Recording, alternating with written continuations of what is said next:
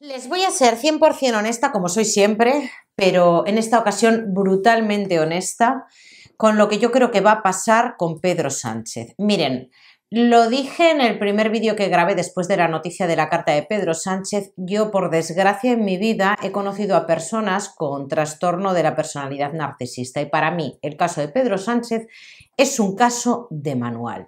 Estas personas tienen una mente fría porque no tienen empatía, no tienen empatía, no tienen sentimientos, no son capaces de ponerse en el lugar del otro y por tanto, por tanto no sufren de la misma manera que el resto. Tienen una mente muy fría. Y créanme que todo lo que ha dicho Pedro Sánchez en su carta no es porque él lo sienta, sino porque se anticipa a lo que van a sentir otras personas que no creo que sean malas personas, me refiero a los votantes del Partido Socialista, sino más bien todo lo contrario, personas ingenuas que se creen que Pedro Sánchez es un hombre enamorado de su mujer y que esta denuncia malintencionada, basada en hechos falsos, le ha hecho titubear en el cargo. No hay nada más que quiera Pedro Sánchez que un puesto de poder en el que sentirse por encima de los demás y además, y además, él se cree que está por encima del bien y del mal, como cualquier narcisista. Eso de aceptar las órdenes lo llevan muy mal, muy mal. Eso de que les mm, lleven la contraria lo llevan todavía peor. Y como encima tiene un procedimiento penal abierto su mujer, y ahí puede haber cosas que quizás no le interese a Pedro Sánchez que los ciudadanos sepamos, pues no es que se ponga nervioso, es que entonces empieza con el tratamiento de hielo. La ley del silencio del narcisista. Me voy a tomar unos cinco días para que vosotros estéis pensando, porque yo lo tengo todo claro. Os voy a dejar cinco días en blanco y aparte voy a escribir una carta para que la gente se conmueva, ¿no? Y entonces voy a hacer que el pueblo se mueva eh, sus votantes, la gente que depende de él, los partidos minoritarios que se muevan, todo esto con el tema de siempre, de la ultraderecha y el fascismo. Y mientras tanto, voy a hacer que la gente empiece a poner los ojos en mí, en lugar de poner los ojos en la investigación abierta a mi mujer y por ende a mí. Pero lo tiene claro.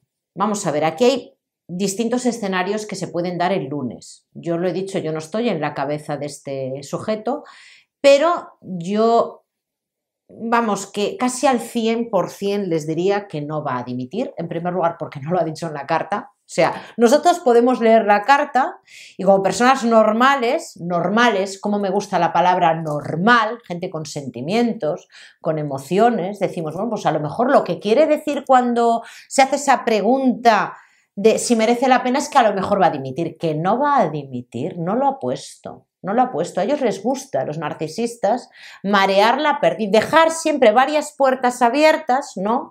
Con la esperanza, pero él no ha dicho que vaya a dimitir. Yo no creo que vaya a dimitir. Hay gente que ya incluso está diciendo quién ocuparía el puesto, ¿no? Y señalan a María Jesús Montero y que quizás para julio se podrían, no sé, convocar elecciones anticipadas. Después de lo que ha hecho Sánchez, de lo último que ha hecho. Bueno, ya pasando porque esa misma mañana estaba una actitud chulesca delante del rey con las manos en los bolsillos. Después de haberse gastado unos cuantos milloncejos, bastantes milloncejos en poner a Broncano la resistencia para hacerle la competencia desleal al hormiguero en televisión española y garantizar por lo menos dos temporadas para que blanqueen el sanchismo desde televisión española, ¿ustedes se creen que ahora va a dimitir? Yo no me lo creo. Después de la ley de amnistía va a dimitir. Que va, no me lo creo. No, yo no me lo creo, no me lo creo. Después del resultado que ha obtenido en las elecciones del País Vasco, va a dimitir. Yo no me lo creo. Que no me lo creo, señores. Yo eso no lo veo, lo veo imposible que vaya a dimitir. Otra opción que barajaba Puigdemont es una cuestión de confianza. Eso lo veo más factible, pero tampoco me cuadra, señores. Y no me cuadra porque Pedro Sánchez ya tiene el apoyo de, toda la Cámara. Es decir, ya tiene el apoyo menos de Vox y del Partido Popular, ya tiene el apoyo de todos los partidos minoritarios, incluido Puigdemont, porque le interesa a este último. Y no es necesario volver a revalidar el mandato. La única opción que sería, no sé, viable eh, para que tomara esa decisión de ir a por una cuestión de confianza es porque, no sé, necesitara nuevamente, y no creo que vaya a ser el caso de cara a las elecciones catalanas, porque la mayoría se la van a dar al Partido Socialista, eso es lo que dicen las encuestas, y ahí se verá si pacta con Esquerra Republicana Puigdemont, pero no es que se juegue ahí la mayoría en Cataluña y que necesariamente tenga que pactar con Puigdemont y que necesitara el blanqueamiento del resto de fuerzas políticas, y eso ya lo tiene. Porque iba a promover una cuestión de confianza. Además, en la cuestión de confianza la ganaría sí o sí porque no hace falta una mayoría absoluta. Hacen falta más es que no es. La tendría garantizada. Otra opción es que necesite el cariño de los suyos, que necesite ese momento en el que necesita sentirse fuerte, ¿no? O sea, volver a tener eh, la sartén por el mango, pero es que ya la tiene, señores, ya la tiene. Y convocar a elecciones anticipadas, por mucho que haya podido movilizar a la militancia, que por lo que sabemos y por lo que ha dicho la prensa, ya se están mm, habilitando autobuses para mover a todos los socialistas del sur y de todas las partes de España a la manifestación que se celebrará mañana en Ferraz, las ha hecho bastante las ha hecho bastante duras en los últimos tiempos como para que gane al Partido Popular. Y yo no sé si el Partido Popular, las últimas encuestas le daban mayoría absoluta. No lo sé tampoco, pero es que aquí nunca se sabe, nunca se sabe. Yo estoy segura de que hay gente que aunque Pedro Sánchez, no sé, eh, hiciera la mayor de las tropelías en este país, eh, que ya las ha hecho, pero todavía más, yo creo que seguirían votando a Pedro Sánchez. Eso es lo que yo creo. Y luego la opción que veo más factible no es que no pase nada, porque eso también es otra opción, que el lunes llegue y diga, voy a continuar al cargo, me habéis convencido, esto es todo tan ridículo, me habéis convencido, voy a seguir siendo presidente del gobierno porque el pueblo me aclama. Eh, no creo, no creo. Yo creo que sí que va a pasar algo.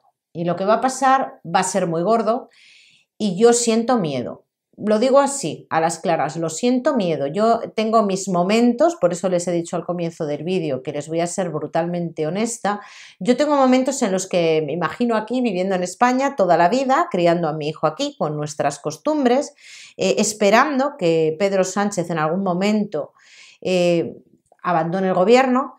Y en otros momentos como este, digo, eh, esto es una república bananera ya, esto, esto va camino de ser Venezuela qué miedo, qué miedo y el papel que ocupo yo en todo esto, que yo digo siempre un papel muy humilde, pero eh, hay mucha gente que me ve todos los días y, y empiezo a sentir miedo. Eh, eso es lo que me pasa a mí. Y normalmente cuando yo he sentido ese miedo, que es una sensación de angustia en la boca del estómago a lo largo de mi vida y por otros motivos, al final, al final ese miedo es fundado. Entonces yo me, me fío de mis propios instintos. ¿Dónde quiero llegar con esto? No sé si saben que en el programa de Silvia Ichaurrondo, o como se pronuncia su apellido, en Radio Televisión Española ayer, una colaboradora peruana de Canal Red, Laura, no recuerdo el apellido, una mujer morena de cuarenta y pico años, que apoyó a Pedro del Castillo, Pedro Castillo, eh, el peruano que dio ese golpe de Estado fallido y que ahora está en prisión, que salió en su televisión diciendo mensaje a la ciudadanía, más o menos como Pedro el de aquí, como Pedro el Narciso, que ha salido con una carta a la ciudadanía que tiene Twitter, la que no tiene Twitter no cuenta, ya se lo contarán en la tele. Pues esa mujer que defendía ese golpe de Estado mm, y que ahora está aquí en nuestro país, eh, blanqueando al presidente del gobierno y a Pablo Iglesias, eh, con un mensaje muy democrático, ¿verdad?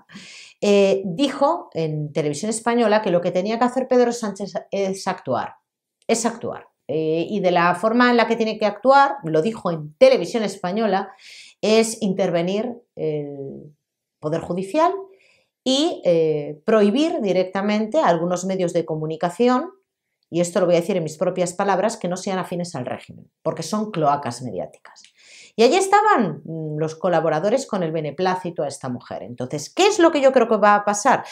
Miren que lo llevo diciendo desde antes de las elecciones del 23 de julio, que como ganara Pedro Sánchez, este tío a por lo que va es a por los medios de comunicación no oficiales, con la connivencia de las izquierdas y de los partidos minoritarios y de, y de, los colaboradores del poder mediático porque no les interesa que haya voces díscolas, entre las que yo me encuentro, ¿no? Entonces creo que van a ir por ahí. Ya hemos visto algún apunte desde Patsy, María Jesús Montero, todos los podemitas que, son cloacas mediáticas que hacen la ofer. Eh, yo creo que vamos a ir por ese camino. Yo creo que este señor va a dar un golpe de Estado. Yo es lo que creo. Yo creo que con la excusa de que no todo vale, que no se puede atacar a la mujer del presidente, ellos consideran atacar el hecho de investigar actuaciones que puedan ser contrarias a la ley, que los jueces hagan su trabajo, para ellos es un ataque. Entonces a mí no me extrañaría nada que por la vía del medio este hombre intentara modificar, reformar el Consejo General del Poder Judicial, utilizando alguna de sus tropelías, alguno de sus tejemanejes, y como siempre, lo que él hace, de lo que él hace, acusa a los demás, de enfangar la política. Bueno, yo no sé entonces qué era la lona del hermano de Ayuso en plenas elecciones. Yo no sé lo que es hablar de la familia de Ayuso cuando todo está archivado y luego quejarse de que le llamen, bueno, de que digan que nos gusta la fruta. Yo no sé entonces qué es lo que hace el Partido Socialista. No, no lo sé. Si es la ultraderecha siempre la que hace las cosas mal y la que pues no para de sembrar bulos. Somos muy molestos para el gobierno. Yo lo tengo muy claro. Y aquí ya da igual la ideología que cada youtuber profese en su intimidad o públicamente. Yo creo que aquí estamos todos en la cuerda floja.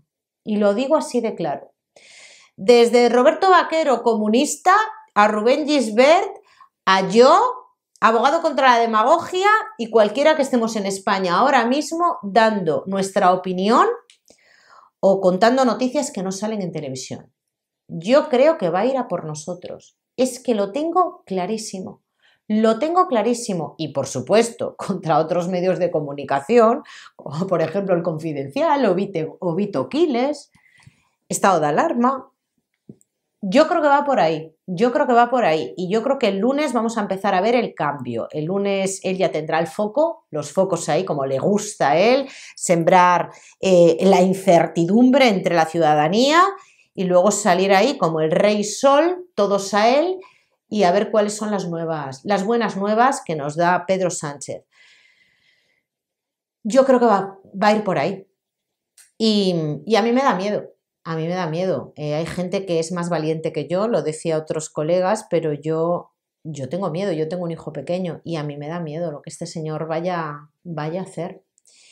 Yo creo que con las denuncias por delito de odio no ha tenido suficiente y vamos a ver de qué manera, de qué manera va a prohibir que algunos medios de comunicación entren en el Congreso, como por ejemplo Habito Quiles, que es el más sonado, al que nunca le contestan ninguna pregunta a otros medios de comunicación y a sus periodistas y vamos a ver qué es lo que pasa con nosotros, con los youtubers. Vamos a ver, o con los que están en Instagram, me da igual. Vamos a ver qué es lo que pasa con nosotros.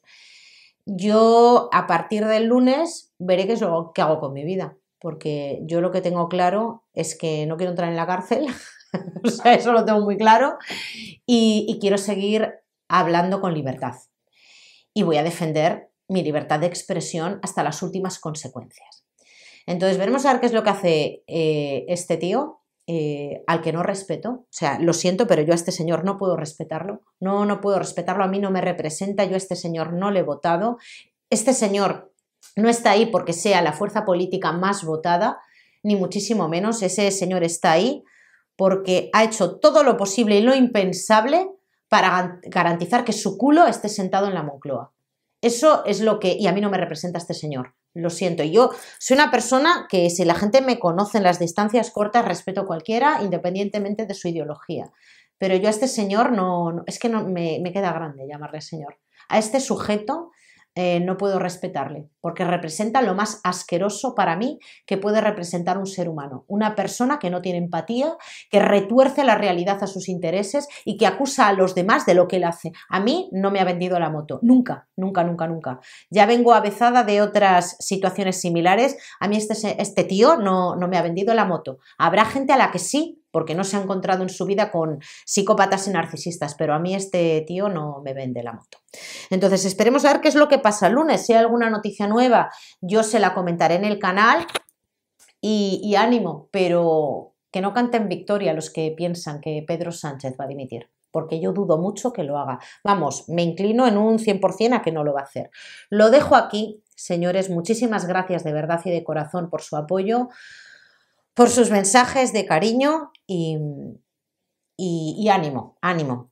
Si Dios quiere, nos vemos mañana.